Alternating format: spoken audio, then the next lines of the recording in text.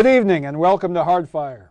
I'm your host, Joseph Dobrian, and uh, I'm here with you for another half hour of news, current events, and politics from a libertarian perspective. With me tonight is my uh, guest, the libertarian candidate for lieutenant governor of the state of New York, Professor Donald Silberger.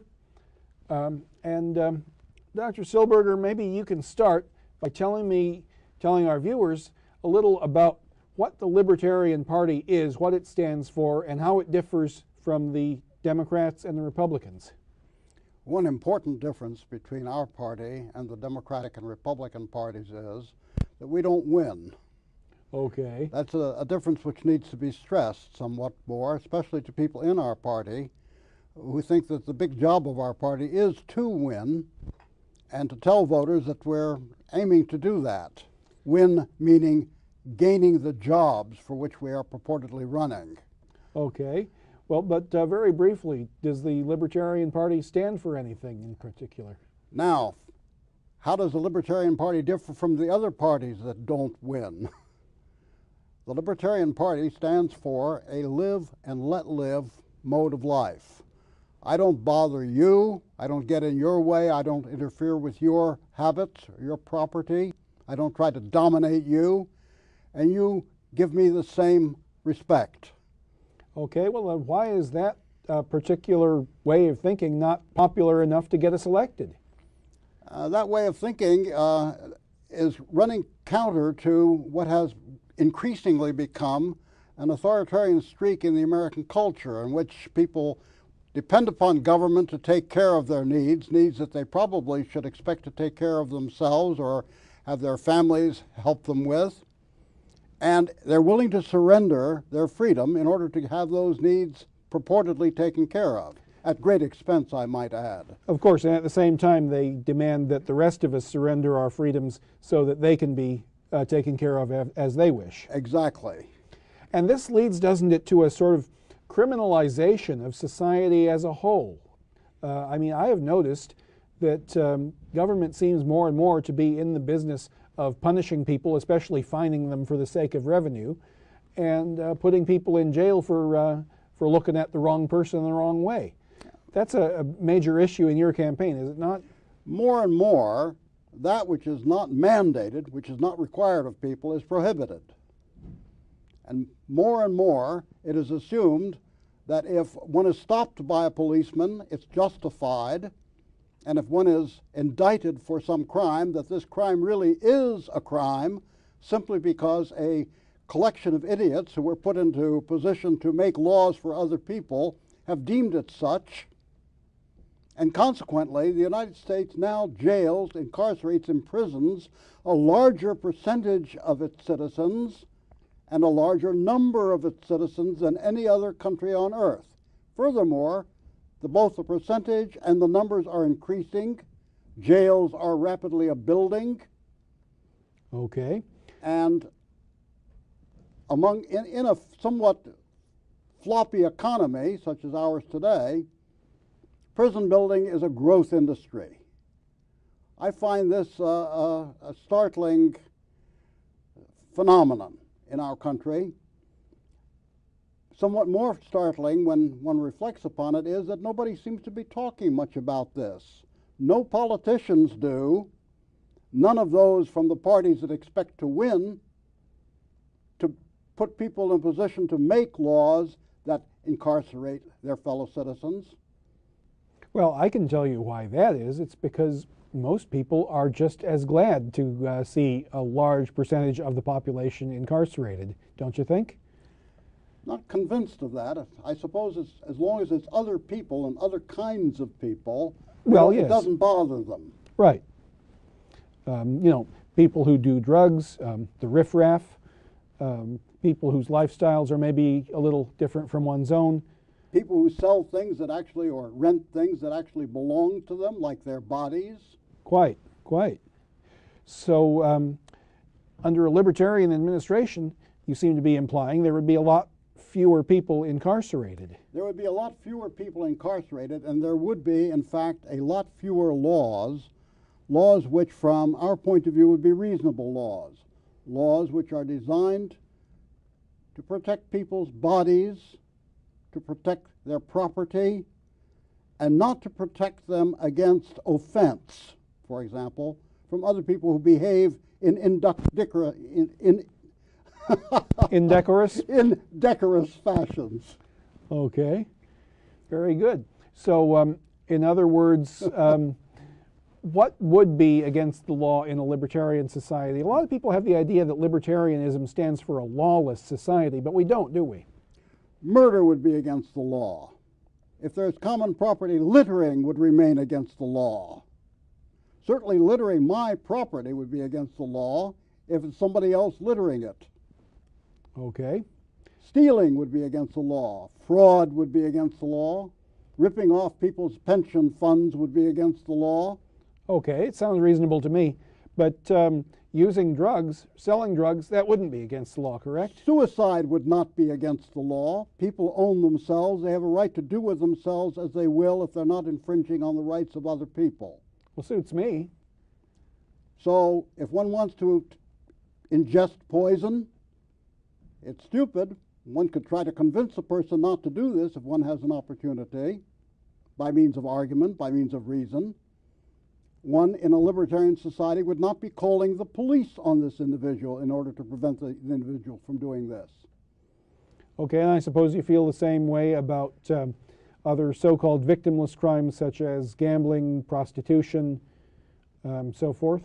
Yes, in New York State, for example, gambling isn't really against the law, providing it's the state that's controlling the gambling and calling it the lottery and alleging that the money is being used for a good cause like education. So the innumerate are victimized, presumably for the benefit of the, of the many. Exactly so, and that uh, sort of contradicts the idea that the law is there to protect you against yourself. Yes. Now, if the government can run g- gambling enterprises, why can't in private individuals engage in gambling, particularly? Well, because then it can't be taxed and regulated. Are you silly? yes.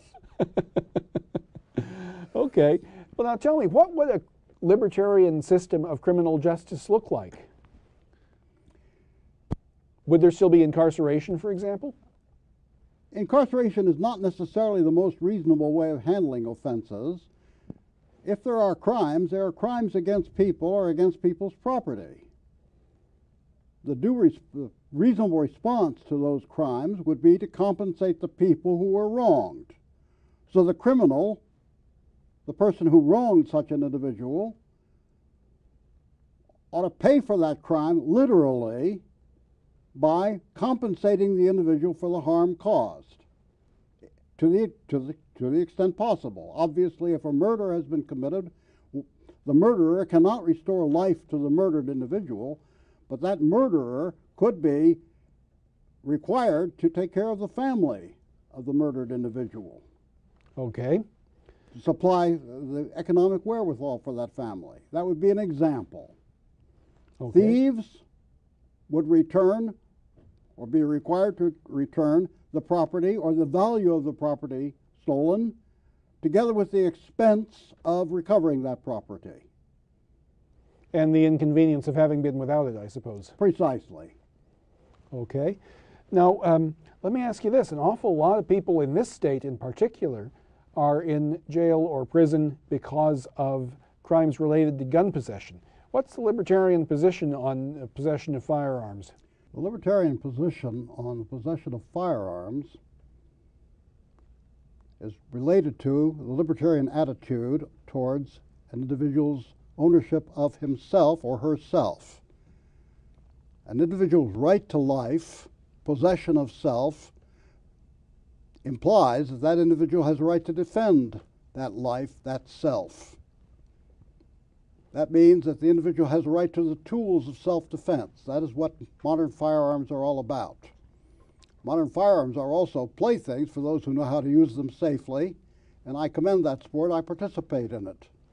But the main issue is people should have power over themselves and over their own destinies to the extent possible. The police cannot be everywhere. And it should be pointed out that the police do not have an affirmative duty to protect you in any case. Precisely. They are they have an affirmative duty only to enforce the law, which is to say, to punish people, incarcerate people who have broken the law, whether the law is reasonable or not.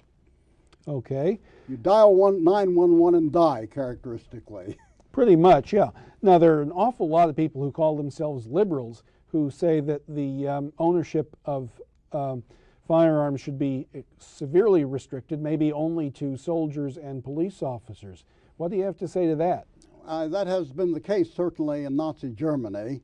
Uh, my uh, relatives suffered grievously under that particular uh, edict and turned me strongly against it. I maintain my strong stand against it largely for that reason. The 1938 Hitler Law copied a 10 year earlier law passed in the Weimar Republic, adding the provision that mainly Jews should be deprived of firearms. And incidentally, the first important federal firearms law that came in 1968, I believe, after the assassinations of important figures in American society, largely copied the Hitler law. Okay. Without, without the provision about Jews. Of course, I'll believe that. But um, it seems to me, I don't have the statistics at hand, but it seems to me that a huge percentage of the people who are incarcerated in this country, and in New York in particular, are there for drug related offenses. Which accounts also for the violence which, uh, which the people who are deploring firearms ownership cite as a reason for restricting firearms. So many murders occur in the United States. Well, murders occurred principally in the United States during Prohibition, 1919 to 1932 or 33, and um, the murder rate dropped after that. It certainly did. And um, I think it uh, is not even arguable that um, the uh, drug prohibition laws lead to other types of crime. That's common knowledge. Uh, and yet, people, even people who call themselves social liberals, are adamantly against the decriminalization of drugs. It's, why is that, and what can we do about it? it I cannot understand why social liberals uh, are opposed to ending the drug war when it has so many obvious attendant evils and when it has accomplished so little, including little in the direction that it claimed uh, it wanted to accomplish. Drug use has gone up since prohibition of drugs has uh, been ushered in in 1914. That's right, and that's something that a lot of people don't know. That um, most drugs were not illegal until fairly recently. Isn't that correct? I mean, you could, for example, get a bottle of heroin at the uh, pharmacist. In, uh, the, in the early teens. That's right.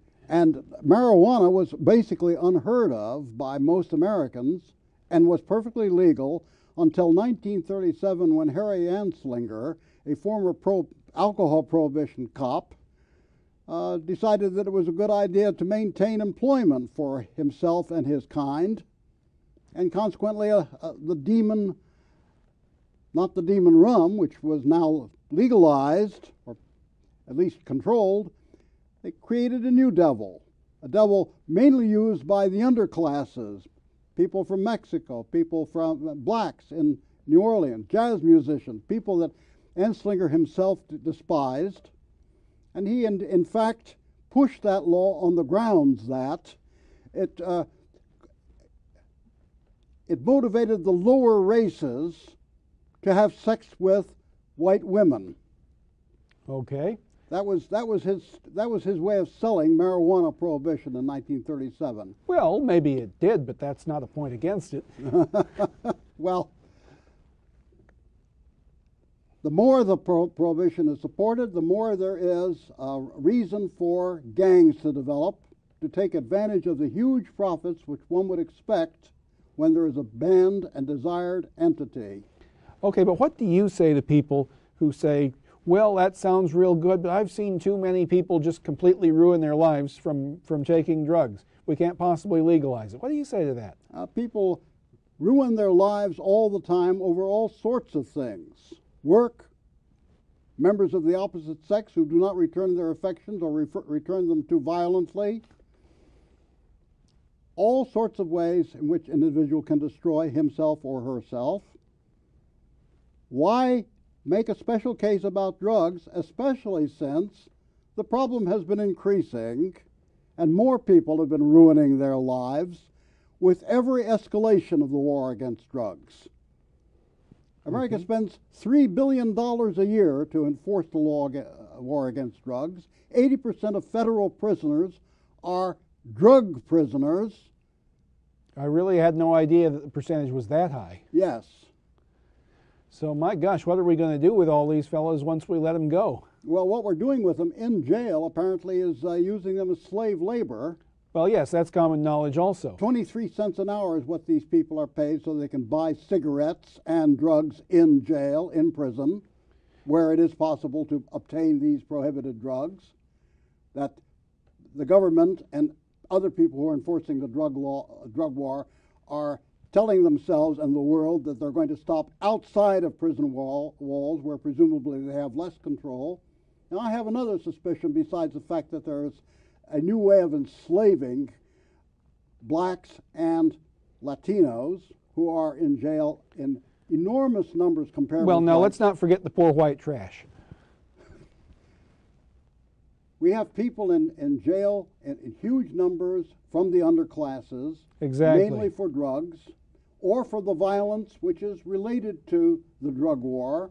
Exactly so. It's a matter of keeping the riffraff down, regardless of race, I would submit. People can't people can't find jobs, but they certainly can make a great deal of money selling material which is subsidized by the laws that elevate the prices by a fact by a factor of sometimes a thousand. Of course, and if you were to decriminalize all these drugs, you would Prices immediately drop. you would put the street dealers out of business because they would not be able to compete with uh, a Walgreens or a Duane Reade who could guarantee their product and sell it at a lower price. Now, allow myself, allow me to uh, wax a little paranoid about this, if you don't mind. I, uh, it should be noticed that there is a rampant AIDS in the ghettos now. Where does this come from? Is it the immorality of people in that uh, area? That's what some people would argue. Okay, first of all, it's a breakup of families. Secondly, a large percentage of young blacks go to prison. Now, many of these individuals are defenseless, relatively nonviolent individuals who are subject to rape on a continuous basis in prison by people who are already infected with AIDS. What happens when these people get out of prison, these young men? They go back into their communities and they infect their girlfriends and their wives with AIDS. This certainly must be noticed. Why is it allowed to happen? Why is the policy that produces this massacre permitted to continue? Why does nobody challenge this aspect of it? Well, I suppose that it's because um, there are people in power who would rather uh, have these people incarcerated as much as possible and be damned what happens to them after they get out. I'd like to I'd like to rail a little against my compatriots who are for more moderation in change. Let's not kill people in a cruel way. Let's kill them kindly, is the attitude. Medical marijuana. Now, look, everybody that I've spoken with in the medical profession privately, and there have been a number, agree that marijuana is useful for a number of conditions to control nausea, that is incident to treatment by anti cancer drugs, to eliminate anorexia associated also with this condition, to help people who are suffering from spasms in multiple sclerosis. Many conditions are aided by marijuana. Marijuana remains absolutely prohibited by the government, even when the states who, under the 10th Amendment, have the right to make laws about this sort of thing for themselves and for their own citizens. The DEA from the federal government invades those states. Now, why have the anti marijuana laws become so draconian? Because I remember there was a time in the late 60s up until the 80s when they were becoming gradually more lenient. And in many states, marijuana was virtually legal as long as you were discreet about it. Since, since a, a fair percentage of people, young people in particular, are aware that marijuana is a relatively innocuous material, if indeed it is harmful. It is certainly less harmful than legal alcohol. Probably, yes. I, it's, a, it's a mystery why the suppression continues. Perhaps there is fear that if this particular lie is exposed and marijuana is legalized, basically legalized, then people will start looking at the other anti drug laws as well. Now, my own attitude is of course, marijuana should be permitted to patients under the prescription of, a, of physicians, but why should physicians control people's lives? Physicians are there as, as servants for people. Exactly so. So- I, um, I wonder why we want to stop at, uh, At saying that. it should be a prescription drug. Why no, not? let's let's be clean about it. I say go back to 1914, repeal the Harrison Narcotics Act, get rid of it all, let people out of prisons who have caused no harm to anybody else, and that's what I will do if I ever get elected to to be lieutenant governor. I will ask my boss, John Clifton, to appoint me to head a commission to examine prison sentences, and those people who are in jail who have not done anything to anybody else that, that, that those other people will object to are out of jail, compensated for time served, the years of their lives that have been robbed from them, Okay, now I'll have to interrupt. property restored to them. End it. Okay. Now, uh, just to be cantankerous, I'll ask you a, uh standard libertarian question about compensating these fellows. At whose expense? It would come out of the agencies uh, whose budgets are stuffed by the drug war. That's the first place it would come. And those people obviously would suffer from uh, sudden unemployment. There's plenty of good work to be done in society so they can continue to draw salaries for doing useful stuff, cleaning up the garbage that everybody's throwing around because you can't buy anything in this country without having it stuffed into plastic and the plastic stuffed into plastic again, which plastic gets caught in hedges all over the country. Okay, that's that's something that annoys me as well. Now, uh, when a libertarian administration takes over in Albany, what the heck are we going to do about that type of pollution? Well, that type of pollution, first of all, is trespass. And people have a right to protect themselves against trespass. And public property, if it makes any sense at all, is trespass on everybody. So people who are throwing garbage around should be obliged to pick up that garbage. And I, I, I like to think of people in clown suits going around for a day or two of public service picking up garbage publicly that other people have thrown around because they have been uh, arrested for throwing garbage.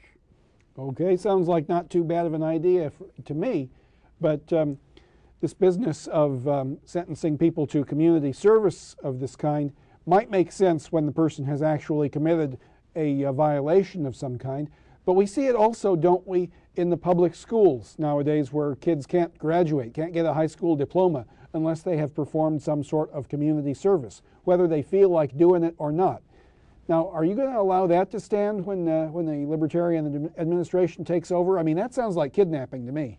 It sounds like kidnapping to me, and indeed, while we're on the subject of kidnapping, every illegitimate arrest and incarceration is a kidnapping, should be seen as such, a kidnapping by a powerful force, a government.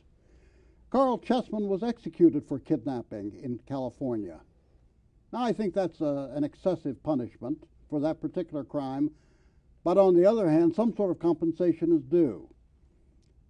Now, what about community service for people who are benefiting from the public dole in, in the schools?